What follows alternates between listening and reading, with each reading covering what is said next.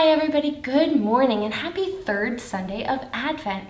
If you have been with us this Advent season, then you might know that here at Old Town Kids, we have been talking a lot about getting ready.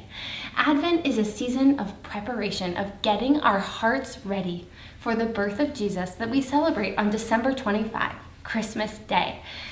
And so, um, if you're here with us at Old Town Kids, you might remember that the first Sunday of Advent, we talked about a story where all the animals in the stable were getting ready for the birth of Jesus. It's an imagined story of what might have been happening in that stable right before Jesus was born.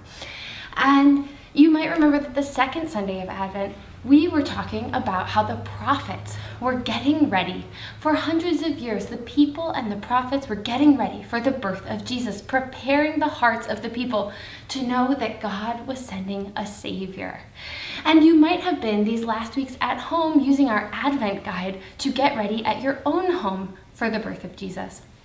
And maybe you're not using our Advent guide, but you are still getting ready at your home, and that is great. And so today, we are going to keep talking about getting ready. And this time, we're talking about something very special. We are talking about Mary and Joseph who were getting ready to oh, welcome a baby.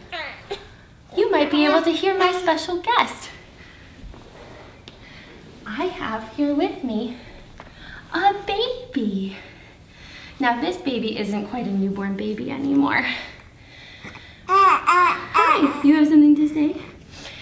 But Mary and Joseph were getting ready to welcome a baby. And so this week in Old Town Kids, whether you are worshiping with us from home or for the kids in our classroom as well, we are talking about Mary and Joseph and how they are getting ready for the birth of Jesus. Now, Mary and Joseph are about to become parents. And the way they were becoming parents is a little different from most people. In fact, they found out that God was giving them a very special baby, coming straight from God, baby Jesus.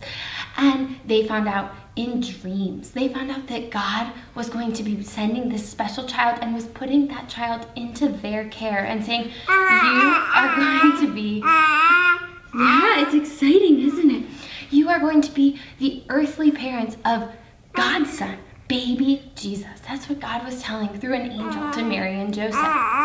Now, if you were Mary and Joseph, how do you think they might be getting ready?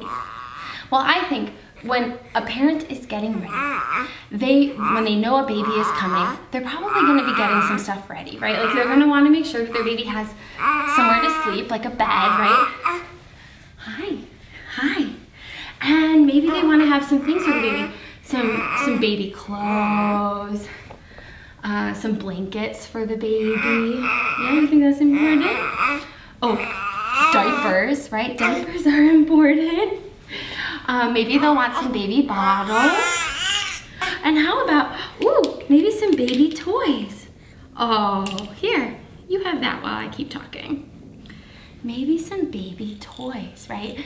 And so one of the ways that parents get ready to welcome a baby is by having some things on hand to help them care for that baby. They might also want to learn how to take care of a baby, how to feed a baby and wash a baby, and how to help a baby sleep and all kinds of good stuff. Well, Mary and Joseph were preparing for Jesus in all those kinds of ways that parents for all of time have prepared to welcome a baby. But they were being prepared in special ways too, because their baby was God's son. Their baby was coming to save the world. God had huge, enormous, very special plans for baby Jesus.